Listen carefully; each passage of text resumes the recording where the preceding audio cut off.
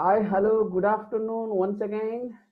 Welcome back to the today's session on the topic communication skills. So I welcome all the participants who have joined today for this today's session. Okay, so for your better understanding, so I will use both Kannada and the English language for for the communication language. Okay, yeah. Am I audible? Am I audible to you all? Hello?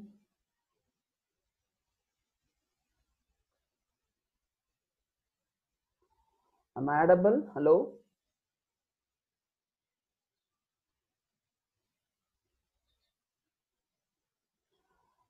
Am I audible? Hello?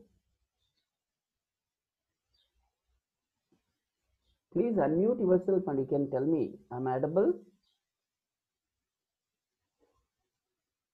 Hello?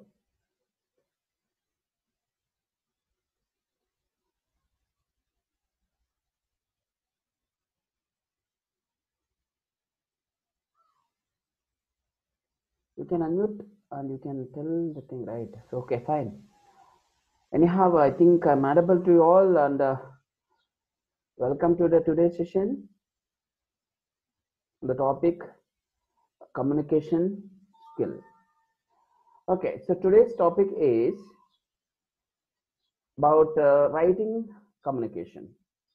Let's begin today's session on the topic or on the module writing communication. So, in this module or in this uh, uh, session, we will discuss about how to communicate with a written skill. Okay, so especially email etiquettes. Okay, how to write the email and what are the uh, rules, what are the skills we should follow while we are writing a mail or while we are sending a message to somebody or maybe in a professional way or personally okay so let's start and uh, it is also very important uh, module in communication skills. Okay. So firstly we will discuss and, and uh, we will uh, talk about uh, writing effective emails. We all we all know email is a very very you know essential or very very important and very very good feature which we can see in an internet. So one all very familiar with internet and uh, so they'll be know about emails electronic mail. It's a service where we can send mails through electronic media.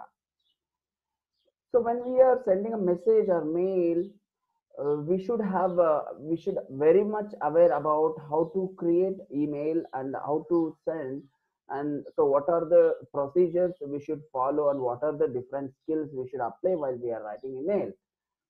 So and what are the what are the skills uh, we should apply uh, to make a very effective uh, email? Okay? So today we will talk about that things and all right? Well why email etiquettes are important. So, as I'm telling, uh, email etiquette are uh, rules. So, email etiquettes are very important, and why? So, I will will talk point to point or one by one. We all internet interact with uh, printed words as through it has a personality, and that personality makes positive and negative impression upon us right if suppose if i want to convey some message to somebody usually we write a message ಲೆಟರ್ನ ಬರಿತೀವಿ ಯಾರಿಗಾದ್ರೂ enadru ನಾವು convey ಮಾಡಬೇಕು ಅಂದ್ರೆ what we do is letter ಬರಿತೀವಿ right for the interaction uh, a person is so far distance or is living in a so far distance if i want to convey some message phone ಮಾಡ್ತೀವಿ we will we will call call him but ಹಾಗೇನೆ ಒಂದು letter ಬರಿತಾ ಇದ್ವಿ ಮೊದಲು, ಪತ್ರ ಬರಿತಾ ಇದ್ವಿ as we all we all interact with the printed words as through it has a personality and that personality makes positive and negative impression upon us. ಈಗ ನಾವು ಯಾವ ತರ ಬರಿತಾ ಇದೀವಿ ಅಥವಾ ಯಾವ ತರ ಲೆಟರ್ನ ಬರಿತೀವಿ ಅನ್ನೋದು ಸೊ ಆ ಒಂದು ಲೆಟರು ನಮಗೆ ಪಾಸಿಟಿವ್ ಆಗಿರ್ಬೋದು ಅಥವಾ ನೆಗೆಟಿವ್ ಆಗಿರೋ ಇಂಪ್ರೆಷನ್ಸ್ನ ಕೊಡುತ್ತೆ ಕೂಡ. Okay because email or letter or printed words will give personal ಒಂದು ಇಂಪ್ರೆಷನ್ ನಮಗೆ ಇಲ್ಲಿ ಕೊಡುತ್ತೆ ಕೂಡ. ಸೊ ದ್ಯಾಟ್ ಇಟ್ಸ್ ಇಂಪಾರ್ಟೆಂಟ್ ಯಾಕಂದ್ರೆ ಇಮೇಲ್ ಎಥಿಕ್ವೇಟ್ ಅಲ್ಲಿ ನಾವು ಪ್ರಿಂಟೆಡ್ ವರ್ಡ್ಸ್ನ ಯೂಸ್ ಐ ಮೀನ್ ಇಮೇಲ್ ಅಲ್ಲಿ ನಾವು ಪ್ರಿಂಟೆಡ್ ಪ್ರಿಂಟೆಡ್ ವರ್ಡ್ಸ್ನ ಯೂಸ್ ಮಾಡೋದ್ರಿಂದ that shows uh, that you positive or negative impression okay so without so feedback your document can easily can easily by your reader so ನೀವು ಮೇಲಲ್ಲಿ ಏನೋ ಒಂದು attach ಮಾಡಿರ್ತೀರಾ ಅಥವಾ ಡಾಕ್ಯುಮೆಂಟ್ ಕಳಿಸಿರ್ತೀರಾ ಸೊ ಅದನ್ನ ಓಪನ್ ಮಾಡಕ್ ಮುಂಚೆನೆ ಅದ್ರೊಳಗಡೆ ಇರುವಂತ ಕಂಟೆಂಟ್ ಅವ್ರ ಬಾಡಿನ ನೋಡಿದ ತಕ್ಷಣನೇ ಸೊ ನಿಮ್ಮ ಅನೋ ರೀಡರ್ ಇರ್ತಾರಲ್ವಾ ಸೊ ನೀವು ಯಾರಿಗೆ ಕಳಿಸಿರ್ತೀರಾ, ಆ ರೀಡರ್ಗೆ ನಿಮ್ಮ ಮೇಲೆ ಒಂದು ಬ್ಯಾಡ್ ಒಂದು ಇಂಪ್ರೆಷನ್ ಕ್ರಿಯೇಟ್ ಆಗುತ್ತೆ ಅಥವಾ ಮಿಸ್ ಇಂಟರ್ಪ್ರೇಷನ್ ಅನ್ನೋದು ನೀವು ಪ್ರೊವೈಡ್ ಮಾಡಿರ್ತೀರಾ ಒಂದು ಮೇಲಲ್ಲಿ. So it is crucial that you follow the basic rules of the etiquette to construct appropriate tone ನಾವು ಹೇಳ್ಬೋದು ಸರ್ ನಾವು ಹೇಗ್ ಬೇಕಾದ್ರೂ ಕೂಡ ಮೆಸೇಜ್ ಮಾಡ್ಬಿಡ್ಬೋದಲ್ವಾ ಇಮೇಲ್ ತಾನೆ ಹೇಗ್ ಬೇಕಾದ್ರೂ ಮಾಡ್ಬೋದಲ್ವಾ no so we can we cannot do that we cannot do like that we have our own or we should follow some rules and etiquettes to construct appropriate tone in the email writing. So today we'll talk about that, you know, procedure, how to uh, create email or how to uh, write the email and what are the different, uh, you know, you know, rules, etiquettes we should follow. Okay, so let's start one by one. Email etiquettes, point number one. So once at look at the email ಒಂದ್ಸಾರಿ ನಾವು email email ನೋಡಿದಾಗ email ಬರಿಬೇಕಾದ್ರೆ first ನಾವೇನ್ ಮಾಡ್ತೀವಿ andre general format na ಹಾಕೊಳ್ತೀವಿ okay so general format it may be a font it may be a font style font colour okay so border alignments everything comes in a general format. Secondly salutations. Salutations in the sense greetings ಈಗ starting ಅಲ್ಲಿ ನಾವು ಒಂದು ಲೆಟರ್ನ ಬರಿಬೇಕಾದ್ರೆ respected sir normally letter ಬರಿಬೇಕಾದ್ರೆ respected sir ಅಂತ ಬರಿತೀವಿ. ಆದ್ರೆ ಇಮೇಲ್ ಅಲ್ಲಿ ನಾವೇನ್ ಮಾಡ್ಬೇಕಾಗತ್ತೆ? Greetings ಬರಿಬೇಕಾಗತ್ತೆ right okay so dear sir dear madam greetings day greetings like that and end of the letter will will write regards write regards and thanks and all the best so like that we will write some salutations, okay? Next, attachment. If i want to share some document with opposite person or receiver ಆ reader so ನಾವು ಅಟ್ಯಾಚ್ಮೆಂಟ್ನ ಒಂದು ಮೇಲ್ಗೆ connect ಮಾಡ್ತಾ ಹೋಗ್ತೀವಿ. Attachment ಮಾಡಿದಾಗ ಯಾವ ರೀತಿ ನಾವು ಮೇಲಲ್ಲಿ ಅದನ್ನ ರೆಫರೆನ್ಸ್ ಕೊಡಬೇಕು ಅನ್ನೋದನ್ನು ಕೂಡ ಇಲ್ಲಿ ಇಂಪಾರ್ಟೆಂಟ್ ಆಗಿ ಹೇಳ್ತಾ ಹೋಗೋಣ okay next body of the mail so main ನಾವೇನು ಕಂಟೆಂಟ್ನ ಹೇಳ್ತಾ ಇದೀವಿ ಅಥವಾ ಇನ್ಫಾರ್ಮೇಶನ್ನ ಕೊಡ್ತಾ ಇದೀವಿ that is the body of the mail so body of the mail ನಾವು ಯಾವ ರೀತಿ ಬರೀಬೇಕು? ಹಾಗೆ ಒಂದು ಎಕ್ಸಾಂಪಲ್ ಕೂಡ ಇದರಲ್ಲಿ ನೋಡೋಣ. Okay so let start one by one general formatting ಯಾವ ರೀತಿ ಇರಬೇಕು ಜನರಲ್ ಫಾರ್ಮೆಟಿಂಗ್ ಬೇಸಿಕ್ಸ್ನ ನೋಡೋಣ. First one write the black or blue colour right and black or blue colour ಈಗ ನೀವು ಯಾವುದೇ ಒಂದು ಲೆಟರ್ನ especially I'm talking about email electronic mail ನೀವು ಇಂಟರ್ನೆಟ್ ಮುಖಾಂತರ ನೀವು ಯಾರಿಗಾದ್ರೂ ಸಂದೇಶ ಕಳಿಸ್ತಿದ್ದೀರಾ ಅಥವಾ ಮೆಸೇಜ್ ಮಾಡ್ತಾ ಇದ್ದೀರಾ ಮೇಲ್ ಕಳಿಸ್ತಿದ್ದೀರಾ ಅಂದಾಗ that letter it should be return in black or blue letters so black ಅಥವಾ ಬ್ಲೂ ಲೆಟರ್ಸ್ ಅಲ್ಲಿ ಮಾತ್ರ ಇರಬೇಕು. ಸೊ ಬೇರೆ ಬೇರೆ ಯಾವುದೇ ಬಣ್ಣದ, ಬಣ್ಣ ಬಣ್ಣವಾಗಿ ಲೆಟರ್ನ ಬರೆಯೋದು ಅಥವಾ ಮೇಲ್ನ, ಬರೆಯೋದು ಮಾಡಬಾರ್ದು ಕೂಡ. So point number one Write in block or blue color okay? So th second point write in readable and professional font. I was just talking about font style also comes under general formatting so that yeah yeah one second. Yes uh, hari hari arun hari please tell me. How can i help you?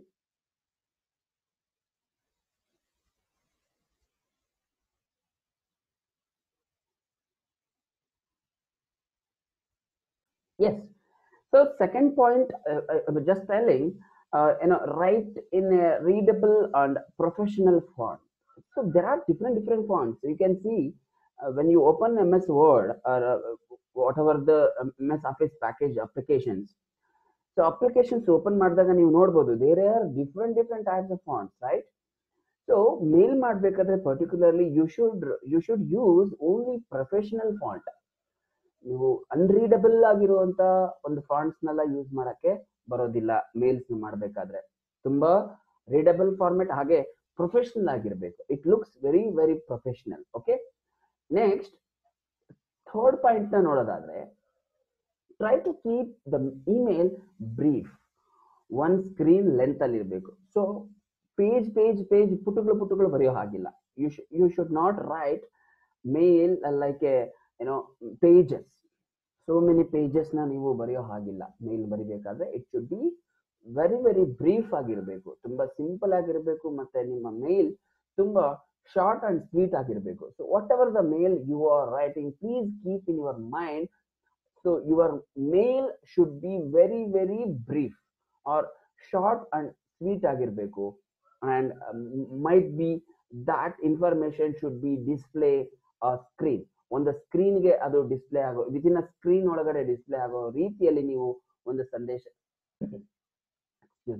ಒಂದು ಸಂದೇಶ ಆಗಿರ್ಬೋದು ಅಥವಾ ಒಂದು ಮೇಲ್ನ ನೀವು ಏನ್ ಮಾಡ್ಬೇಕಾಗತ್ತೆ, ಬರಿಬೇಕಾಗತ್ತೆ ಅಥವಾ type ಮಾಡ್ಕೊಳ್ಬೇಕಾಗತ್ತೆ. So this is the third basic etiquette which we follow in general formatting next point is do not use caps or use caps where appropriate caps in the sense cap you capital letter like big letters ಅಂತ ನಾವೇ ಹೇಳ್ತೀವಿ. So you should not use capital letters at all ಒಂದ್ ವೇಳೆ use ಮಾಡಬೇಕು ಅಂತ ಹೇಳಿದ್ರೆ so appropriate ಆಗಿರುವಂತ ಒಂದು ವರ್ಡ್ಸ್ಗೆ ಮಾತ್ರ ಅಥವಾ ಪ್ಲೇಸ್ನಲ್ಲಿ ಮಾತ್ರನೇ ಕ್ಯಾಪ್ಸ್ನ ನೀವು ಬಳಸಬೇಕಾಗತ್ತೆ. So do not use caps or use caps where appropriate ಎಲ್ಲಿ ನಮ್ಗೆ ಕ್ಯಾಪ್ಸ್ ಆನ್ ಆಗಿರ್ಬೇಕಾಗತ್ತೆ ಅಥವಾ ಕ್ಯಾಪ್ಸ್ನ ಬಳಸಬೇಕಾಗತ್ತೆ? ಅಲ್ಲಿ ಮಾತ್ರ ಎಕ್ಸ್ಪೆಷಲಿ ಮೇಲ್ನ ಬರಿಬೇಕಾದ್ರೆ you should keep in mind okay ಎಲ್ಲರೂ ಏನ್ ಮಾಡ್ತಾರೆ ಕ್ಯಾಪಿಟಲ್ ಕ್ಯಾಪ್ಸ್ನ ಆನ್ ಮಾಡ್ಕೊಂಡ್ಬಿಟ್ಟಿರ್ತಾರೆ. ಎಲ್ಲರೂ ಬಿಗ್ ಲೆಟರ್ಸ್ ಅಲ್ಲಿ ಬರೆಯಕ್ ಸ್ಟಾರ್ಟ್ ಮಾಡ್ತಾರೆ ಮೇಲ್ನ this is a very very very wrong method so once we started writing a mail through cap ಅಂದ್ರೆ ತುಂಬಾ ತುಂಬಾ ತಪ್ಪಾಗುತ್ತೆ. Because that tone gives you in high way I mean ಏನೋ ಏನೋ ಹೈ you know ಅಂತ you know, high, rising tone anta it caps ಅಂದ್ರೆ ಅಂದ್ರೆ ನೀವೇನಾದ್ರೂ ಕ್ಯಾಪ್ಸ್ನ ಆನ್ ಮಾಡ್ಕೊಂಡು ಲೆಟರ್ ಏನಾದ್ರೂ ಟೈಪ್ ಮಾಡ್ತಾ ಇದ್ದೀರಾ ಅಥವಾ ಹೇಳ್ತಾ ಇದ್ದೀರಾ ಅಂದ್ರೆ that shows you you are rising your voice ಅಂತ. ಅಂದ್ರೆ ನೀವು ತುಂಬಾ ಹೇರು ಧ್ವನಿಯಲ್ಲಿ ಆ ಒಂದು ಮೇಲ್ನ ಹೇಳ್ತಾ ಇದ್ರ ಅಂತ ಆಪೋಸಿಟ್ ಪರ್ಸನ್ಗೆ ಅರ್ಥ ಆಗುತ್ತೆ. ಓಕೆ ಸೊ ನಮ್ಮ ಮೆಸೇಜ್ ತುಂಬಾ ಪೊಲೈಟ್ ಆಗಿರ್ಬೇಕು. ಅಂದ್ರೆ ಲೆಟರ್ನ ಓದೋದು ಕೂಡ ಒಂದು ಇಂಪ್ರೆಷನ್ ಕೊಡುತ್ತೆ ಅಂತ ನಾನು ಹೇಳಿದೆ ಅವಾಗ್ಲೇ. ಹೌದಾ? ಸೊ ಕ್ಯಾಪಿಟಲ್ ಲೆಟರ್ಸ್ ಅಲ್ಲಿ ನೀವು ಯೂಸ್ ಮಾಡಿದೀರ ಅಂದ್ರೆ ದಟ್ ಮೀನ್ಸ್ ಆಪೋಸಿಟ್ ಪರ್ಸನ್ ನಿಮ್ಮ ಮೇಲೆ ರೇಗ್ತಾ ಇದ್ದಾನೆ ಅಥವಾ ಬೈತಾ ಇದ್ದಾನೆ ಅಂತ ಓಕೆ ಸೊ ಅದರಿಂದಾಗಿ ಕ್ಯಾಪಿಟಲ್ ಲೆಟರ್ಸ್ನ ನೀವು ಯೂಸ್ ಐ ಮೀನ್ ಬಿಗ್ ಲೆಟರ್ಸ್ನ ಯೂಸ್ ಮಾಡೋದು ಮಾಡಕ್ ಹೋಗ್ಬಾರ್ದು. ಒಂದ್ ವೇಳೆ ಮಾಡ್ಬೇಕು ಅಂದ್ರೆ ಸೊ ಎಲ್ಲಿ ಬೇಕಾಗುತ್ತೋ ಅಲ್ಲಿ ಮಾತ್ರ ಅಪ್ರೋಪ್ರಿಯೇಟ್ ಆಗಿರುವಂತ ಪ್ಲೇಸ್ನಲ್ಲಿ ಮಾತ್ರ ನಾವು ಕ್ಯಾಪ್ಸ್ನ ಆನ್ ಮಾಡ್ಕೊಂಡು ಆ ಲೆಟರ್ಸ್ನ ಯೂಸ್ ಮಾಡ್ಬೇಕಾಗತ್ತೆ. This is the fourth point next fifth point ಏನು? ಬೇಸಿಕ್ ಆಗಿ ಫಾಲೋ ಮಾಡಬೇಕಾಗಿರುವಂತದ್ದು ಜನರಲ್ ಒಂದು ಫಾರ್ಮೆಟಿಂಗ್ ಅಲ್ಲಿ ಅಂದ್ರೆ ಚೆಕ್ ಫಾರ್ ಪಂಕ್ಚುಯೇಷನ್ಸ್ ಸೊ ಎಲ್ಲೆಲ್ಲಿ ಪಂಕ್ಚುಯೇಷನ್ಸ್ನ ಯೂಸ್ ಮಾಡ್ಬೇಕಾಗತ್ತೆ? ಕಾಮ ಫುಲ್ ಸ್ಟಾಪ್ ಮತ್ತೆ ಕ್ವಶನ್ ಮಾರ್ಕ್ ಆಗಿರ್ಬೋದು ಎಕ್ಸ್ಕ್ಲಮೇಟರಿ ಆಗಿರ್ಬೋದು ಕೊಟೇಶನ್ಸ್ ಆಗಿರ್ಬೋದು ಕೋಡ್ಸ್ ಆಗಿರ್ಬೋದು single quote double quote okay hyphen so ಈ ಈ ಒಂದು ಪಂಕ್ಚುಯೇಷನ್ಸ್ ಬಗ್ಗೆ ನಾವು ತುಂಬಾ ಅವೇರ್ ಆಗಿರ್ಬೇಕಾಗತ್ತೆ, ಅಥವಾ?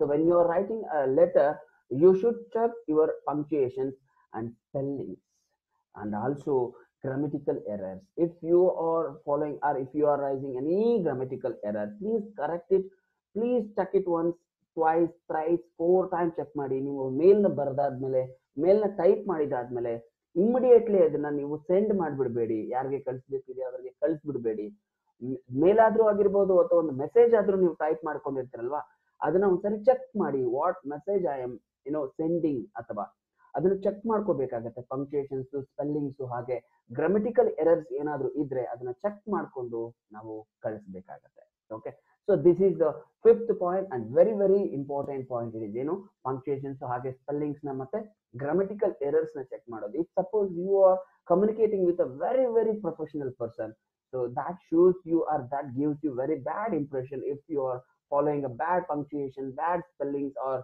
you know grammatical errors in your letter. That's why i'm telling you, or i'm suggesting you that please check once price twice ಪ್ರೈಸ್ನ check ಮಾಡಿ ನೀವು. ಆಮೇಲೆ ಅದನ್ನ ನೀವು ಯಾರಿಗೆ ಕಳಿಸ್ಬೇಕು ಅನ್ಕೊಂಡಿದ್ರೋ ಅವರ ಒಂದು ಮೇಲ್ಗೆ ಕಳಿಸ್ಕೊಡಿ. ಯಾಕಂದ್ರೆ once mail is sented so ಅದು ಒಂದ್ಸಾರಿ ಸೆಂಟ್ ಆಯ್ತು ಅಂತ ಹೇಳಿದ್ರೆ we cannot we cannot correct it we cannot reedit ಮಾಡಕ್ ಬರೋದಿಲ್ಲ. Once it is sent so the message cannot be reedited okay so that's the ಒಂದು, ಏನೋ ಪ್ರಾಬ್ಲಮ್ ಇರೋದ್ರಿಂದ ಅದರಲ್ಲೂ ಇಮೇಲ್ಸ್ ಅಲ್ಲಿ ನಾವು ಚೆಕ್ ಮಾಡಿ ಮಾಡಬೇಕಾಗತ್ತೆ. ನೆಕ್ಸ್ಟ್ ಪಾಯಿಂಟ್ ಏನು? Try to keep your line length at eighty characters or less so ನಿಮ್ಮ ಲೈನ್ ಏನ್ ಬರೀತೀರಾ? ಆ ಲೈನ್ ಒಳಗಡೆ you should keep your line length maximum eighty character ಅಥವಾ ಅದಕ್ಕಿಂತ ಕಡಿಮೆ ಲೆಟರ್ಗಳು ಇರೋ ಹಾಗೆ ನೋಡಿಕೊಂಡು. ಸೊ ಅಷ್ಟಾಗಿದ ತಕ್ಷಣ ಎಂಟರ್ ಬಟನ್ ಹೋದ್ರೆ ಮತ್ತೆ ನೆಕ್ಸ್ಟ್ ಕರ್ಸರ್ ಅನ್ನೋದು ನೆಕ್ಸ್ಟ್ ಲೈನ್ಗೆ ಬರುತ್ತೆ.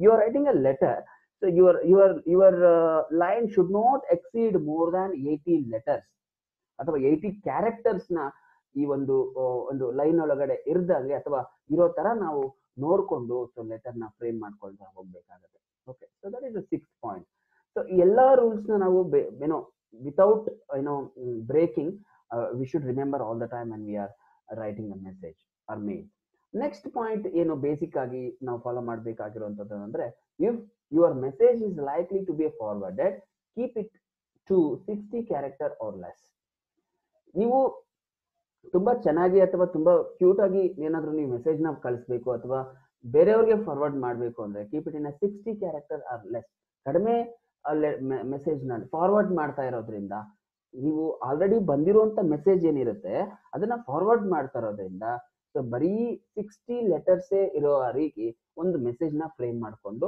ಅದನ್ನ ಫಾರ್ವರ್ಡ್ ಮಾಡೋದನ್ನ ನೀವು ಕಲ್ತ್ಕೋಬೇಕಾಗುತ್ತೆ. Next one when you are writing directions or want to emphasize important points number your directions or bullet your main points ಒಂದ್ ವೇಳೆ ನೀವೇನಾದ್ರೂ ಬುಲೆಟ್ ಪಾಯಿಂಟ್ಸ್ ಹಾಕೊಂಡಿದ್ರೆ ಅಥವಾ ಪಾಯಿಂಟ್ ವೈಸ್ ಪಾಯಿಂಟ್ ವೈಸ್ ಏನಾದ್ರು ಎಕ್ಸ್ಪ್ಲೈನ್ ಮಾಡ್ತಾ ಇದ್ರೆ you should keep in mind you should mention numbers or bullets so bullets ಆಗಿರ್ಬೋದು ಅಥವಾ ನಂಬರ್ಸ್ ಆಗಿರ್ಬೋದು ನೀವೇನ್ ಮಾಡ್ಬೇಕಾಗತ್ತೆ? ಅಲ್ಲಿ ಯೂಸ್ ಮಾಡ್ಕೋಬೇಕಾಗತ್ತೆ. When you are writing directions or wants to emphasize important point so important ಆಗಿರುವಂತ ಪಾಯಿಂಟ್ಸ್ನ ನೀವು ಎಂಪಸೈಸ್ ಮಾಡಬೇಕು ಅಂದ್ರೆ emphasizing in the sense highlight ಮಾಡಬೇಕು ಅಥವಾ ಅದನ್ನ ಮಾತ್ರ ನಾನು ಈಗ ಇಲ್ಲಿ ಫೋಕಸ್ ಮಾಡಬೇಕು ಅಂತ ಬಂದಾಗ ಸೊ ನೀವೇನ್ ಮಾಡ್ಬೇಕಾಗತ್ತೆ? You should use numbers or bullets ಬುಲೆಟ್ಸ್ನ use ಮಾಡೋದಾಗಿರ್ಬೋದು ಅಥವಾ ನಂಬರ್ಸ್ನ ಯೂಸ್ ಮಾಡೋದಾಗಿರ್ಬೋದು ನೀವು ಪ್ರಾಕ್ಟೀಸ್ ಮಾಡ್ಕೋಬೇಕಾಗತ್ತೆ.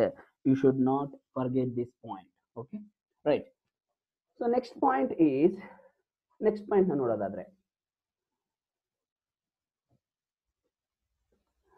return email within the same time you you could you you a phone call. So ಒಂದ್ ವೇಳೆ ಏನಾದರೂ ಮೇಲ್ ಬಂದಿದೆ ಅಂತ ಹೇಳಿದ್ರೆ ಅದನ್ನ ನೀವು ಆದಷ್ಟು ಬೇಗ ನೀವು ರಿಪ್ಲೈ ಮಾಡೋದಕ್ಕೆ ಟ್ರೈ ಮಾಡಿ ಓಕೆ ಸೊ ಯಾವ್ದಾದ್ರು ರಿಪ್ಲೈ ಬಂದಿದೆ ಅಥವಾ ನಿಮ್ಗೆ ಮೆಸೇಜ್ ಬಂದಿದೆ ಅಂದ್ರೆ ಆದಷ್ಟು ಬೇಗ ಅದಕ್ಕೆ ರಿಪ್ಲೈ ಮಾಡೋದು. Return emails within a same time you could phone call so reply ಮಾಡಕ್ ಆಗ್ಲಿಲ್ಲ ಅಂದ್ರೆ ನೀವು ಫೋನ್ ಆದ್ರೂ ಮಾಡಿ ಅವ್ರಿಗೆ ಇನ್ಫಾರ್ಮ್ ಮಾಡ್ಬೋದು ಅಥವಾ ಬಂದಿದೆ ಓಕೆ ನನಗೆ ಮೇಲ್ ತಲುಪಿದೆ ಅಂತ ನೀವು ರಿಪ್ಲೈ ಕೊಡ್ಬೋದು. Return mail within a same time you could phone call so ನೀವು ಅವ್ರಿಗೆ ಫೋನ್ ಮಾಡಿ, ಈ ತರ ನನಗೆ ನಿಮ್ಮ ಮೇಲ್ ತಲುಪಿದೆ ಅಂತಾದರೂ ಹೇಳ್ಬೋದು, ಅಥವಾ ಅವ್ರು ಮಾಡಿರುವಂತ ಮೇಲ್ಗೆನೆ ರಿಪ್ಲೈನಾದ್ರೂ ಕಳಿಸ್ಬೋದು. I received it I noted it okay so I got your mail thank you for your mail I received so like this when you return or when you reply for the message they feel okay so ನನ್ನ message ಅವ್ರಿಗೆ ತಲುಪಿದೆ ಅಂತ ಗೊತ್ತಾಗುತ್ತೆ. ಅಥವಾ phone ಮಾಡಿ, ನನಗೆ ನಿಮ್ಮ ಮೇಲ್ ಬಂದಿದೆ ಅಂತ ಹೇಳೋದ್ರಿಂದ ಕೂಡ ಸೊ ಅವ್ರಿಗೆ ಗೊತ್ತಾಗುತ್ತೆ. ಸೊ ನನ್ನ ಮೇಲೆ ಅವ್ರಿಗೆ ತಲುಪಿದೆ ಅಂತ. Okay so these are the points we should remember okay so tone ಅಂದ್ರೆ ವಾಯ್ಸ್ ಸರ್ ನಾನು ಮಾತಾಡ್ತಾ ಇಲ್ಲ. ನನ್ನ ಲೆಟರ್ನ ಬರೀತಾ ಇರೋದಲ್ವಾ? ಬಟ್ ಟೋನ್ ವೈ ಇಯರ್ ಅಂತ ಹೇಳಿದ್ರೆ ಟೋನು ಕೂಡ ಇಲ್ಲಿ ತುಂಬಾ ಇಂಪಾರ್ಟೆಂಟ್ ಆಗುತ್ತೆ. ಅಥವಾ ನಾವು ಬರೆಯುವಂತ ಒಂದು ಲೆಟರ್ ಒಳಗಡೆ ನಮ್ಮ ಟೋನ್ ಕೂಡ ಜಾಯಿನ್ ಆಗ್ತಿರುತ್ತೆ. ಯಾವ ತರ? Write the positive tone so ಎಲ್ಲಾನು ಕೂಡ ನೀವು ಪಾಸಿಟಿವ್ ಆಗಿ ಹೇಳ್ತಾ ಹೋಗಿ ಪಾಸಿಟಿವ್ ವರ್ಡ್ಸ್ನ ಬಳಸಿ ಪಾಸಿಟಿವ್ ಆಗಿ ನೆಗೆಟಿವ್ ವರ್ಡ್ಸ್ನ ಬಿಟ್ಟು ಪಾಸಿಟಿವ್ ಆಗಿರುವಂತ ವರ್ಡ್ಸ್ನ ಯೂಸ್ ಮಾಡ್ಕೊಂಡು ಲೆಟರ್ನ ಫ್ರೇಮ್ ಮಾಡೋದನ್ನ ಕಲಿಬೇಕಾಗತ್ತೆ. ಹೇಗೆ? When you complete the report instead of if you complete the report okay so ಈ- ಎರಡೂ ಪದಕ್ಕೂ ಅಥವಾ ಇವೆರಡೂ ಒಂದು ಲೈನ್ಸ್ಗೂ ಡಿಫ್ರೆನ್ಸ್ ಇದೆ. When you complete the report ಅನ್ನೋದಕ್ಕೆ, ಅನ್ನೋದನ್ನ ನೀವೇನಾದ್ರೂ if you complete the report ಅಂದ್ರೆ ತಪ್ಪಾಗತ್ತೆ. Okay so this is negative word and this is positive word okay so ಪಾಸಿಟಿವ್ಗೂ ಮತ್ತೆ ನೆಗೆಟಿವ್ ಇರುವಂತಹ difference ಇಷ್ಟೇನೆ. When you complete the report ಅದನ್ನ ನೀವು ಈ ತರ ಬರಿಬೇಡಿ. ಯಾವ್ದನ್ನ? ಸೊ ವೆನ್ ಯು ಕಂಪ್ಲೀಟ್ ಅನ್ನೋದನ್ನ when you complete the report ಅನ್ನೋದನ್ನ so if you complete the report ಅಂತ ಬರೆಯೋದು ತಪ್ಪಾಗ್ಬಿಡುತ್ತೆ. ಓಕೆ ಸೊ ಟೋನ್ ಅನ್ನೋದು ತುಂಬಾ ಚೆನ್ನಾಗಿರ್ಬೇಕು. ಟೋನ್ ಅಂದ್ರೆ ನಿಮ್ಮ ಒಂದು ಇಂಪ್ರೆಷನ್ ಯಾವ ರೀತಿ ಬರಿತಾ ಇದ್ದೀರಾ ಅನ್ನೋದು ಇಲ್ಲಿ ಡಿಪೆಂಡ್ ಆಗುತ್ತೆ. Right avoid negative word that began with un non ex or that ends with a less avoid ಈ ಈ ಒಂದು ನೆಗೆಟಿವ್ ವರ್ಡ್ಸ್ ಇದಾವ ಕೆಲವೊಂದು ಸೊ ಈ ಕೆಲವೊಂದು ನೆಗೆಟಿವ್ ವರ್ಡ್ಸ್ನ ನೀವು ಮೇಲ್ ಬರಿಬೇಕಾದ್ರೆ ಅವಾಯ್ಡ್ ಮಾಡಿ ಆದಷ್ಟು ಯಾವ ಯಾವ್ದು ಅನ್ ಅಂತ ಯೂಸ್ ಮಾಡೋ ಸ್ಟಾರ್ಟಿಂಗ್ ವರ್ಡ್ಸ್ ಇವು. Un non ex or that ends with less example ನೋಡಿ ಯೂಸ್ಲೆಸ್ ಯೂಸ್ಲೆಸ್ ಅನ್ನೋ ವರ್ಡ್ಸ್ನ ಬಳಸಬೇಡಿ. ನಾನ್ ಎಕ್ಸಿಸ್ಟೆಂಟ್ ಹಾಗೆ unemploy sorry ex employee undecided so ಈ ತರ ಪದಗಳನ್ನ ನೆಗೆಟಿವ್ ವರ್ಡ್ಸ್ನ ಬಳಸಕ್ಕೆ ಹೋಗ್ಬೇಡಿ, ಮೇಲ್ನ ಮಾಡ್ಬೇಕಾದ್ರೆ. ಯೂಸ್ ಸ್ಮೈಲ್ ಮೇಲ್ ಮಾಡ್ಬೇಕಾದ್ರೆ ಸ್ಮೈಲೀಸ್ ಬರುತ್ತೆ. So use smiles winks that other graphical symbols only when appropriate and avoid in the professional mail smileys ಆಗ್ತಾರಲ್ವಾ, ಅದು ಪ್ರೊಫೆಷನಲ್ ಮೇಲ್ಸ್ ಅಲ್ಲಿ ನೀವು ಯೂಸ್ ಮಾಡಕ್ಕೆ ಹೋಗ್ಬಾರ್ದು. ಎಸ್ಪೆಷಲಿ ಸೊ ಪ್ರೊಫೆಷನಲ್ ಮೇಲ್ ಮಾಡ್ತಾ ಇದ್ವಿ ಅಂದಾಗ, ಅಲ್ಲಿ ನೀವು ಏನೋ ಸ್ಮೈಲೀಸ್ನ ಯೂಸ್ ಮಾಡೋದು ಅಥವಾ ವಿಂಗ್ಸ್ನ ಯೂಸ್ ಮಾಡೋದು, ಆ ತರದ ಗ್ರಾಫಿಕಲ್ ಸಿಂಬಲ್ಸ್ನ ನೀವು ಯೂಸ್ ಮಾಡಕ್ ಹೋಗ್ಬಾರ್ದು. ಯೂಸ್ ಮಾಡಿದ್ರೆ ನೀವು ಏನಿದ್ರು ಪರ್ಸನಲ್ ಮೇಲ್ಗಳಲ್ಲಿ ಮಾತ್ರ ನೀವು ಅದನ್ನ ಬಳಸ್ಕೊಂಡು ನೀವು ಕಮ್ಯುನಿಕೇಶನ್ ಅನ್ನ ಮಾಡ್ಕೋಬಹುದು ಬಿಟ್ರೆ. ಸೊ ಪ್ರೊಫೆಷನಲ್ ಮೇಲಲ್ಲಿ ಇದನ್ನ ಯಾವುದೇ ಕಾರಣಕ್ಕೂ ಬಳಸದೆ ಅವಾಯ್ಡ್ ಮಾಡೋದನ್ನ ಕಲೀರಿ ನೆಕ್ಸ್ಟ್ ಅಡ್ರೆಸ್ ಮಾಡ್ಬೇಕಾದ್ರೆ. ಸೊ ಯಾವ ರೀತಿ ಅಡ್ರೆಸ್ನ ನಾವು ಮಾಡಬೇಕು?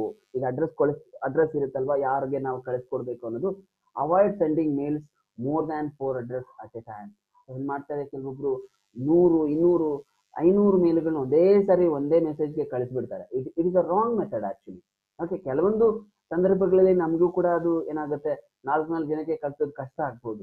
ಸೊ ಆವಾಗ ನಾವೇನ್ ಮಾಡ್ತೀವಿ ಅಂದ್ರೆ ತುಂಬಾ ಜನಕ್ಕೆ ಒಂದೇ ಸಾರಿ ಕಳಿಸಿ but actually it is a wrong method so ಅಡ್ರೆಸ್ನ ನಾವು ಅಥವಾ ಯಾರಿಗೆ ಕಳಿಸ್ಬೇಕು ಅನ್ನೋ ಇಮೇಲ್ ಅಡ್ರೆಸ್ ಇರುತ್ತಲ್ಲ, ನಾವು ಒಂದು ಸಾರಿಗೆ ಬರೀ ನಾಲ್ಕು ಜನಕ್ಕೆ ಮಾತ್ರ ಕಳಿಸೋ ಹಾಗೆ ಸೆಟ್ ಮಾಡ್ಕೋಬೇಕಾಗತ್ತೆ. ಇಲ್ಲಾಂದ್ರೆ ನಾವು ಸಿ ಸಿ ಮಾಡ್ಕೋಬಹುದು ಇಲ್ಲಾಂದ್ರೆ ಬಿ ಸಿ ಸಿ ಮಾಡ್ಕೊಂಡು ಮಾಡ್ಕೊಳ್ಬಹುದು that is a separate option but mail ಮಾಡ್ತಾ ಇರೋದು ಅಥವಾ ಸೆಂಡ್ ಮಾಡ್ತಾ ಇರೋದ್ರಿಂದ ನಾವೇನ್ ಮಾಡ್ಬೇಕಾಗತ್ತೆ? So avoid sending email more than four address so more than four okay ನಾಲ್ಕು ಜನಕ್ಕೆ ಮಾತ್ರ ಇರಬೇಕಾಗತ್ತೆ ಅಲ್ಲಿ. ಅಟ್ ಒನ್ಸ್ ಒಂದ್ ಸಾರಿಗೆ ನಾಲ್ಕು ಅಥವಾ ನಾಲ್ಕಿಂತ ಒಂದು, ನಾಲ್ಕೈದು ಜನ ಇರೋ ತರ ಕಳಿಸ್ಬೇಕಾಗತ್ತೆ ಓಕೆ ಸೊ ನಾಲ್ಕಿನ ಕಡಿಮೆ ಇರಬೇಕು ಅನ್ನೋ ಒಂದು ವಿಚಾರ ಇಲ್ಲಿ ನಾವು ತಲೆಯಲ್ಲಿ ಇಟ್ಕೋಬೇಕು. Okay next instead creating a mail mail list so that reader do not have to scroll too much before getting the actual message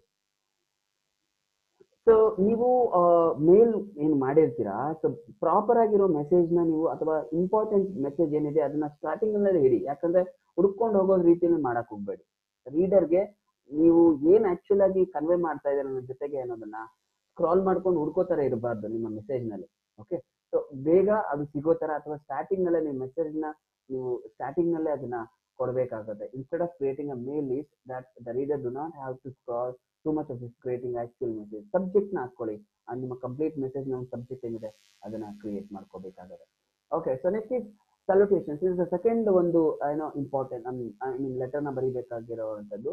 so use dear ಈಗ ನೀವೇನಾದ್ರೂ ಲೆಟರ್ನ ಬರಿಬೇಕಾದ್ರೆ dear friend or dear sir dear madam so dear ಅನ್ನೋ ಒಂದು ವರ್ಡ್ನ use ಮಾಡ್ಕೊಳ್ಳೋದು ತುಂಬಾ ಉತ್ತಮ ಇಮೇಲ್ನ ಮಾಡ್ಬೇಕಾದ್ರೆ. ನೆಕ್ಸ್ಟ್ ಡಿಯರ್ ಅವ್ರ ನೇಮ್ ಎಕ್ಸ್ ಎಕ್ಸ್ ಎಕ್ಸ್ ಇಲ್ಲಿರೋದು ಇಲ್ಲಿ ಅವರ ನೇಮ್ ಓಕೆ ಸೊ ಏನ ನೇಮ್ ಇರುತ್ತೆ? ಈಗ dear Kishore dear Manjunath dear Lakshmi dear ಸಮಿಂದಲಾ like that we can use dear okay next dear Mr. XXS or dear Mr. XYZ, when you do not know the first name or use the first and last name.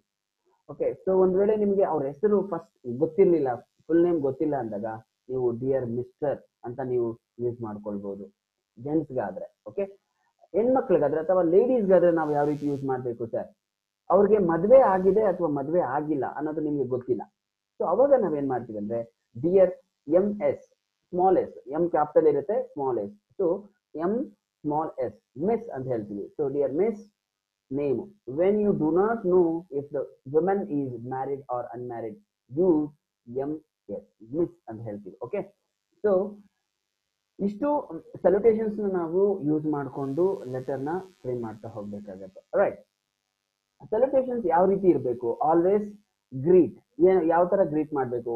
Point number one greetings ಅಂತ ಕೊಡ್ತಾ ಹೋಗ್ತೀವಿ. Day greetings ಅಥವಾ greetings next greetings for the day greetings for the day ಅನ್ನೋದು ಕೂಡ ಒಂದು ಸೆಲೆಬ್ರೇಷನ್ನ ಪದಾನೆ. Next good morning or good afternoon ಈ ತರ ಗುಡ್ ಈವ್ನಿಂಗ್ ಈ ತರ ಒಂದು ಒಂದು ಸೆಲೆಬ್ರೇಷನ್ಸ್ ವರ್ಡ್ಸ್ ಕೂಡ ನಾವು ಯೂಸ್ ಮಾಡ್ಬೋದು. ಸೊ ಗ್ರೀಟಿಂಗ್ಸ್ ಅಂತ ಬರೀಬಹುದು ಒಂದೇ ಸಾರಿ ಅಥವಾ ಗ್ರೀಟಿಂಗ್ಸ್ ಫಾರ್ ದ ಡೇ ಅಂತ ಬರೀಬಹುದು ಅಥವಾ good good morning good afternoon good evening ಈ ತರ ಒಂದು ಪದಗಳನ್ನು ಕೂಡ ನೀವು ಬಳಸಬಹುದು okay so these are the few salutations which we can use in mail while we writing okay next ಸಲ್ಯೂಟೇಷನ್ಸ್ನ close ಮಾಡೋದು ಹೇಗೆ? ಸಾರಿ ಸಲ್ಯೂಟೇಷನ್ಸ್ನ ನಾವು ಕ್ಲೋಸಿಂಗ್ ಮೇಲಲ್ಲಿ ಯಾವ ರೀತಿ ಬಳಸ್ತಾ ಹೋಗ್ತೀವಿ, ಅಥವಾ ಯಾವ ಯಾವ ತರದ ಸಲ್ಯೂಟೇಷನ್ ವರ್ಡ್ಸ್ ಯೂಸ್ ಮಾಡ್ತೀವಿ ಅಂದ್ರೆ ರಿಗಾರ್ಡ್ಸ್ ಅಂತ ಬರೀ, ಬರೀತೀವಿ. ರಿಗಾರ್ಡ್ ಸಂಬಂಧಪಟ್ಟವರು ಹಾಗೆ ಬೆಸ್ಟ್ ರಿಗಾರ್ಡ್ಸ್ ಅಂತ ಯೂಸ್ ಮಾಡ್ಬೋದು, ಅಥವಾ ಥ್ಯಾಂಕ್ಸ್ ಅಂಡ್ ರಿಗಾರ್ಡ್ಸ್ ಅಂತ ಕೂಡ ಯೂಸ್ ಮಾಡ್ಬೋದು. ರಿಗಾರ್ಡ್ಸ್ ಅಂತ ಯೂಸ್ ಮಾಡ್ಬೋದು. ಎಂಡ್ ಅಲ್ಲಿ. ಸೊ ನಾನೇನು ಲೆಟರ್ನ ಕ್ಲೋಸ್ ಮಾಡ್ತೀನಿ ಅಂತ ಇರುತ್ತಲ್ಲ?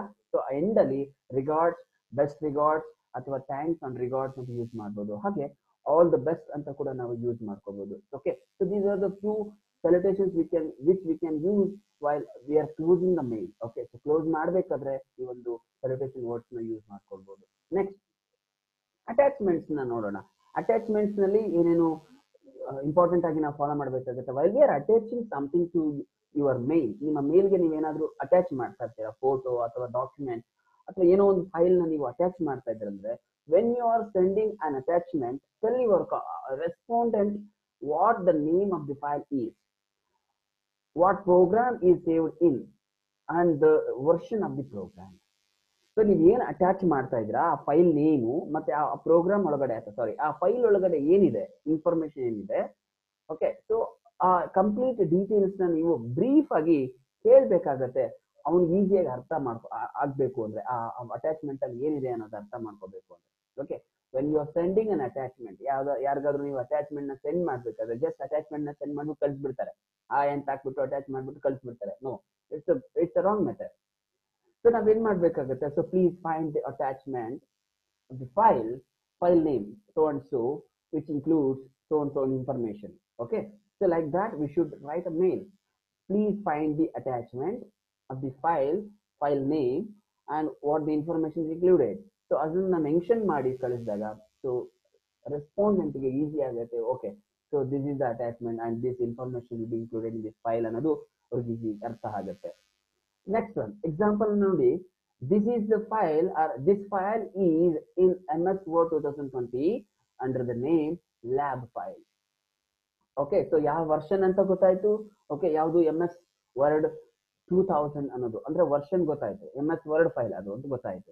Under the name lab file ಆ ಫೈಲ್ ನೇಮ್ ಯಾವುದು ಅಂತ ಕೂಡ ಗೊತ್ತಾಯ್ತು. ಓಕೆ ಸೊ ಈ ರೀತಿಯಾಗಿ ನಾವು ಅಟ್ಯಾಚ್ಮೆಂಟ್ ಬಗ್ಗೆ ಕೂಡ ಒಂದಷ್ಟು ಇನ್ಫಾರ್ಮೇಶನ್ ಕೊಟ್ಟಾಗ ಈಸಿಯಾಗಿ ಅವ್ರಿಗೆ ಅರ್ಥ ಆಗುತ್ತೆ. ನೆಕ್ಸ್ಟ್ ಬಡಿ ಆಫ್ ದಿ ಮೇಲ್ ಅಥವಾ ಬಡಿ ಆಫ್ ದಿ ಇಮೇಲ್ನ ನಾವು ನೋಡಿದಾಗ, ಯಾವ ರೀತಿ ಬರೀಬೇಕು ಅಂತ ನೋಡಿದಾಗ write a short and precise subject line so short ಆಗಿ ಹಾಗೆ ಪ್ರಿಸೈಸ್ ಆಗಿರುವಂತ ಒಂದು ಸಬ್ಜೆಕ್ಟ್ ಲೈನ್ನ ಫಸ್ಟ್ ನೀವು ಬಾಡಿ ಆಫ್ ದಿ ಲೆಟರ್ನಲ್ಲಿ ಸ್ಟಾರ್ಟ್ ಮಾಡ್ಕೋಬೇಕಾಗತ್ತೆ. Write the short and precise subject line ಒಂದನ್ನ ಬರ್ಕೊಳ್ಳಿ. ಯಾವ್ದನ್ನ? ಆಫ್ಟರ್ ದಿ ಏನೋ address after the address there will be subject option so ಅಲ್ಲಿ ನೀವು ಒಂದು ಪ್ರಿಸೈಸ್ ಆಗಿರುವಂತ ಒಂದು ಓವರ್ ನಿಮ್ಮ ಏನು ಮೆಸೇಜ್ ಏನಿದೆ, ಆ ಮೆಸೇಜ್ನ ಒಂದು ಲೈನ್ನ ಸಬ್ಜೆಕ್ಟ್ನ ನೀವು ಬರ್ಕೊಳ್ಳಿ. Next do be direct when you start so ಯಾವತ್ತೂ ನೀವು ಡೈರೆಕ್ಟ್ ಸುತ್ತಿ ಬಳಸಿ ಸುತ್ತಿ ಬಳಸಿ ಲೆಟರ್ನ ಹೇಳೋದು ಅಥವಾ ಲೆಟರ್ನ ಬರೆಯೋದು ಮಾಡಬೇಡ ಮಾಡೋದು ಬೇಡ. Okay so do either direct ನೀವು ಸ್ಟಾರ್ಟ್ ಸೊ ಯಾವಾಗ ನೀವು ಸ್ಟಾರ್ಟ್ ಮಾಡ್ತಿರೋ ಅಥವಾ ಲೆಟರ್ನ ಬರೆಯೋಕೆ ಯಾವಾಗ ಸ್ಟಾರ್ಟ್ ಮಾಡ್ತಿರೋ ಟೈಪ್ ಮಾಡಕ್ ಸ್ಟಾರ್ಟ್ ಮಾಡ್ತಿರೋ, ನಿಮ್ಮ ಪಾಯಿಂಟ್ಗೆ ಡೈರೆಕ್ಟ್ಲಿ ಡೈರೆಕ್ಟ್ ಆಗಿ ಬನ್ನಿ. ಸುತ್ತಿ ಬಳಸಿ ಸುತ್ತಿ ಬಳಸಿ ಬರೋ ಅವಶ್ಯಕತೆ ಏನಿಲ್ಲ. ಸೊ ಡೈರೆಕ್ಟ್ ಆಗಿ ನಿಮ್ಮ ಪಾಯಿಂಟ್ಗೆ ಬಂದು ನೀವು ಲೆಟರ್ನ ಸ್ಟಾರ್ಟ್ ಮಾಡಿ. Next start with with reference to your mail ಒಂದ್ ವೇಳೆ ನೀವು ಅವ್ರೇನಾದ್ರೂ ನಿಮ್ಗೆ ಮೆಸೇಜ್ ಮಾಡಿದ್ದು ಅಥವಾ ಅವ್ರೇನಾದ್ರೂ ನಿಮ್ಗೆ ಮೇಲ್ ಮಾಡಿದ್ರೆ, ಆ ಮೇಲ್ಗೆ ನೀವು ರಿಪ್ಲೈ ಮಾಡ್ತಾ ಇದ್ರೆ, ಅದಕ್ಕೆ ನೀವು with reference to your mail or with reference to your previous message or mail ಅಂತ ಹೇಳ್ಬೋದು. ಅಥವಾ with reference to our discussion ಈಗ ನೀವು ಯಾವ್ದಾದ್ರು ಒಂದು ವಿಚಾರದ ಬಗ್ಗೆ ಫೋನ್ ಕಾಲ್ ಅಲ್ಲಿ ಮಾತಾಡಿದ್ರೆ if if suppose you already discuss about topic on phone call so phone call ಅಲ್ಲಿ ಆಲ್ರೆಡಿ ನೀವು ಡಿಸ್ಕಸ್ ಮಾಡಿರ್ತೀರಾ? ಅಥವಾ ಮೀಟಿಂಗ್ ಆಗಿರುತ್ತೆ. ಸೊ ಅಂತ ಸಂದರ್ಭದಲ್ಲಿ ನೀವೇನ್ ಮಾಡ್ಬೋದು ಅಂದ್ರೆ with reference to our discussion or with reference to our meeting so ನಮ್ಮ ಮೀಟಿಂಗ್ ಆಗಿದೆಯಲ್ಲ, ಅದ್ರ ಬಗ್ಗೆ, ಅದರ ಒಂದು ಸಂಬಂಧಪಟ್ಟಂಗೆ ಈ ರೀತಿಯಲ್ಲಿ ನೀವು ಸ್ಟಾರ್ಟ್ ಮಾಡ್ಕೊಳ್ಬಹುದು with reference to our mail ಅಥವಾ with reference to our discussion ಅಥವಾ with reference to our meeting ಈ ರೀತಿಯಾಗಿ ನೀವು ಸ್ಟಾರ್ಟ್ ಮಾಡಿಕೊಂಡು ನೀವು ಲೆಟರ್ನ ಬಿಗಿನ್ ಮಾಡಬೇಕಾಗತ್ತೆ ಬರೆಯ ಸ್ಟಾರ್ಟ್ ಮಾಡಬೇಕಾಗತ್ತೆ. Keep it in short and sweet so ನೀವೇನೇ ಬಾಡಿ ಲೆಟರ್ನ ಬರೆಯಕ್ಕೆ ಸ್ಟಾರ್ಟ್ ಮಾಡ್ಕೊಂಡ್ರು ಅಥವಾ ಬರೆಯಕ್ಕೆ ಹೊರಟ್ರು ಕೂಡ that it should be very short and sweet ಆಗಿರಬೇಕು ಓಕೆ ಸೊ ತುಂಬಾ ಪೇಜ್ ಗಟ್ಟಲೆ ಪೇಜ್ ಗಟ್ಟಲೆ ಬರೆಯೋದು ಬೇಡ ಬಿಕಾಸ್ ಸೊ ರೆಸ್ಪಾಂಡೆಂಟ್ಗೆ ಅದನ್ನ ಓದೋಷ್ಟು ಪೇಷನ್ಸ್ ಇರೋದಿಲ್ಲ. ನೀವು ಏನು ಕನ್ವೆ ಮಾಡಬೇಕು ಅನ್ಕೊಂಡಿದ್ರ ಮೆಸೇಜು ಅವನು ಆದಷ್ಟು ಬೇಗ ಅರ್ಥ ಮಾಡ್ಕೋಬೇಕು ಅಂದ್ರೆ ಆದಷ್ಟು ನಿಮ್ಮ ಮೆಸೇಜು ಕನ್ಸೈಸ್ ಆಗಿರ್ಲಿ ಶಾರ್ಟ್ ಆಗಿರ್ಲಿ, ಮತ್ತೆ ತುಂಬಾ ಸ್ವೀಟ್ ಆಗಿರ್ಲಿ. ಅವಾಗ ಅವನಿಗೆ ಬೇಗ ಅರ್ಥ ಆಗುತ್ತೆ what the message you are ಏನೋ ಇನ್ಫಾರ್ಮಿಂಗ್ ಅಥವಾ ಸೆಂಡಿಂಗ್ ಅನ್ನೋದು ಬೇಗ ಅರ್ಥ ಆಗುತ್ತೆ. ಕನ್ವೆ ಮಾಡಿದ್ದೀನಿ, ಏನು ಅನ್ನೋದು ಅವ್ನಿಗೆ ಗೊತ್ತಾಗುತ್ತೆ. Next do not write in upper case ಅವಾಗ್ಲೇನೆ ಹೇಳಿದೆ. ಸೊ ಬಾಡಿ ಬರಿಬೇಕಾದ್ರೆ ಅಥವಾ ಲೆಟರ್ನ ಬರಿಬೇಕಾದ್ರೆ you should not use upper case so upper ಕೇಸ್ನ ಅಥವಾ ಕ್ಯಾಪ್ಸ್ನ ನೀವು ಯೂಸ್ ಮಾಡೋದು ಬೇಡ ಅಥವಾ ಮಾಡಬೇಡಿ ಅನ್ನೋದು ಕೂಡ ಇಲ್ಲಿ ಇಂಪಾರ್ಟೆಂಟ್ ಆಗುತ್ತೆ. Next do not write in red colour so except blue and black okay so bloom colour ಅಲ್ಲಿ ಓಕೆ ಅಥವಾ ಬ್ಲಾಕ್ ಸಾರಿ ಬ್ಲಾಕ್ ಕಲರ್ ಅಲ್ಲಿ ಓಕೆ ನಾರ್ಮಲಿ ಬ್ಲಾಕ್ನ ನಾವು ಯೂಸ್ ಮಾಡ್ತೀವಿ. ಸೊ ಬ್ಲೂ ಮತ್ತೆ ಬ್ಲಾಕ್ನ ಬಿಟ್ಟು ರೆಡ್ ಕಲರ್ ಅಲ್ಲಿ ಎಸ್ಪೆಷಲಿ ರೆಡ್ ಕಲರ್ನ ಯೂಸ್ ಮಾಡಕ್ಕೆ ಹೋಗ್ಬೇಡಿ. Why red is a danger ಹೌದಾ?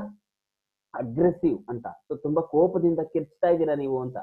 ಸೊ ಆ ಒಂದು ಫೀಲಿಂಗ್ ಬರಬಾರ್ದು. ಓಕೆ ರೆಡ್ನಲ್ಲಿ ನಾವೇನಾದ್ರೂ ಲೆಟರ್ನ ಟೈಪ್ ಮಾಡ್ತಾ ಇದ್ವಿ ಅಥವಾ ಮೇಲ್ ಮಾಡ್ತಾ ಇದ್ವಿ ಅಂದ್ರೆ means you are shouting you are raising your voice to the opposite person ಅಂತ. Okay so that should not be happen so ನೀವು ನೀವು ನಿಮ್ಮ ಒಂದು ಟೋನನ್ನ ಕಂಪೋಸ್ ಆಗಿ ಇಟ್ಕೊಂಡು ಬೈತಾ ಇರೋದು ನಿಮಗೆ ಗೊತ್ತಿರುತ್ತೆ, ಆದ್ರೆ ರೆಡ್ ಕಲರ್ ಯೂಸ್ ಮಾಡಿದ್ರಲ್ಲ ಆಬ್ವಿಯಸ್ಲಿ ಅವ್ರಿಗೆ ಸೊ ನೀವು ನಮ್ಮನ್ನ ಬೈತಾ ಇದ್ದೀರಾ ಅಂತ ಅನ್ಕೊಂತಾನೆ ಓಕೆ ಸೊ ಆ ತರ ಹಾಕ್ಬಾರ್ದು ರೆಡ್ ಕಲರ್ನ ಯೂಸ್ ಮಾಡಬೇಡಿ.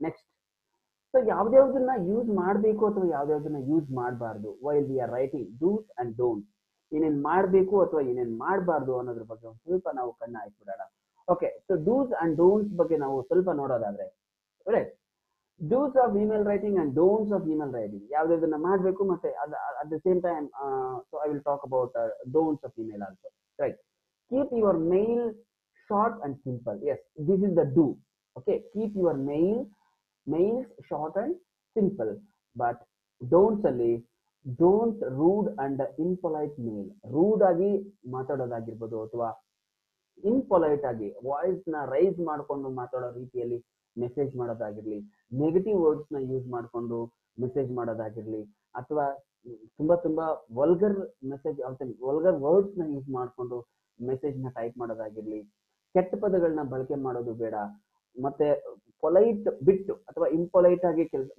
ಮೆಸೇಜ್ನ ಟೈಪ್ ಮಾಡ್ಕೊಳ್ಳೋದಾಗ್ಲಿ ರೂಡ್ ಆಗಿ, ಕೆಟ್ಟದಾಗಿ ವರ್ತನೆ ಮಾಡಿಕೊಂಡು ಮೆಸೇಜ್ ಮಾಡೋದಾಗ್ಲಿ ಮಾಡೋದು ಬೇಡ. That should not be happen okay that should not do okay ಡೂಸ್ಗೆ ಬಂದಾಗ always use black or blue colour font so font colour always ಏನಾಗಿರ್ಬೇಕು ಅಂದ್ರೆ ಬ್ಲಾಕ್ ಇರಬೇಕು ಅಥವಾ ಬ್ಲೂ ಕಲರ್ ಅಲ್ಲಿ ಇರಬೇಕು ಮೇಲ್ ಅಲ್ಲಿ. Especially write in capital so ಯಾವ್ದನ್ನ ಮಾಡಬಾರ್ದು ಅಂತ ನಾನು ಹೇಳ್ತಾ ಇದ್ದೀನಿ so write in capitals capitals ಅಲ್ಲಿ ಬರೀಬಾರ್ದು ಅಂತ ನಾನು ಹೇಳ್ತಾ ಇರೋದು. ಯಾವ್ದನ್ನ ಮಾಡಬಾರ್ದು ಅಂದ್ರೆ ಸೊ ರೈಟ್ ಇನ್ ಕ್ಯಾಪಿಟಲ್ಸ್ ಮಾಡಬಾರ್ದು. ಓಕೆ ನೆಕ್ಸ್ಟ್ ಡೂಸ್ ನೋಡೋಣ. ಯಾವ್ಯಾವ್ದನ್ನ ಮಾಡ್ಬೋದು ಅನ್ನೋದ್ರಲ್ಲಿ.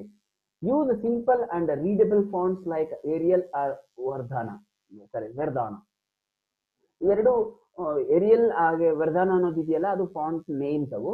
ಅವೆರಡನ್ನ ನೀವು ನಾರ್ಮಲ್ ಆಗಿ ಬಳಸ್ಕೋಬಹುದು ಟೈಮ್ಸ್ ನ್ಯೂರೋಮನ್ ಅಂತ ಇದೆ ಅದನ್ನು ಬಳಸ್ಕೋಬಹುದು ಅದು ಏರಿಯಲ್ ಕೂಡ ನೀವು ಬಳಸ್ಕೋಬಹುದು ಓಕೆ ಹಾಗೆ ಯು ಹಾಗೆ ಯಾವ್ದನ್ನ ಮಾಡಬಾರ್ದು ಅಂತ ನೋಡೋದಾದ್ರೆ use complex font and colour ಯಾವ್ಯಾವ ಒಂದು ಕಾಂಪ್ಲೆಕ್ಸ್ ಕಲರ್ಸ್ನ ಅಥವಾ ಕಾಂಪ್ಲೆಕ್ಸ್ ಫಾಂಟ್ ಗಳನ್ನ ಅರ್ಥ ಆಗದೆ ಇರುವಂತ ಫಾಂಟ್ ಗಳನ್ನೆಲ್ಲ ನೀವು ನೀವು ಯೂಸ್ ಮಾಡೋದು ಅವಾಯ್ಡ್ ಮಾಡಬೇಕಾಗತ್ತೆ while we are writing email right so example ಒಂದು ನೋಡ್ಬಿಡೋಣ.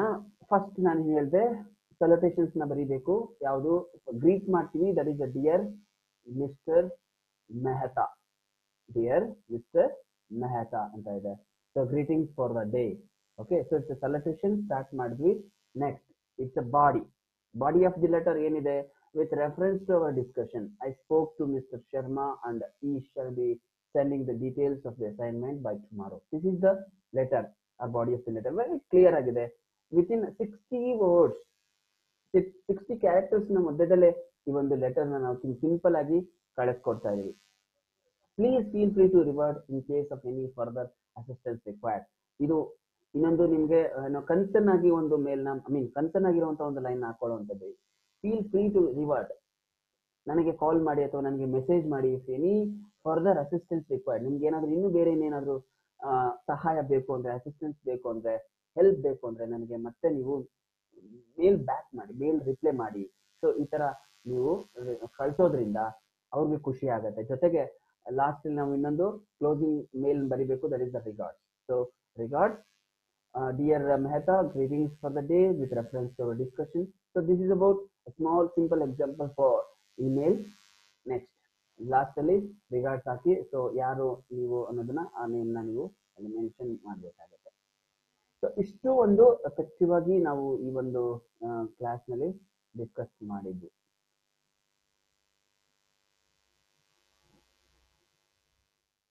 so thank you so much.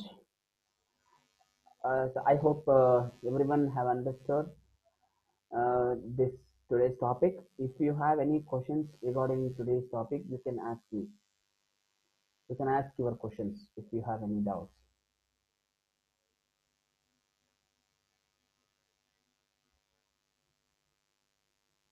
You can unmute yourself and you can ask questions.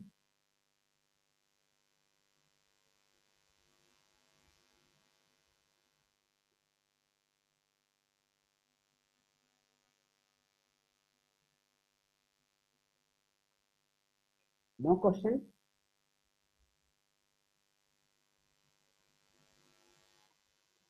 Okay, so uh, thank you so much for joining with us today uh, for the today's session, and uh, I will see you with uh, one more a new topic about uh, discipline and responsibility very shortly. Okay.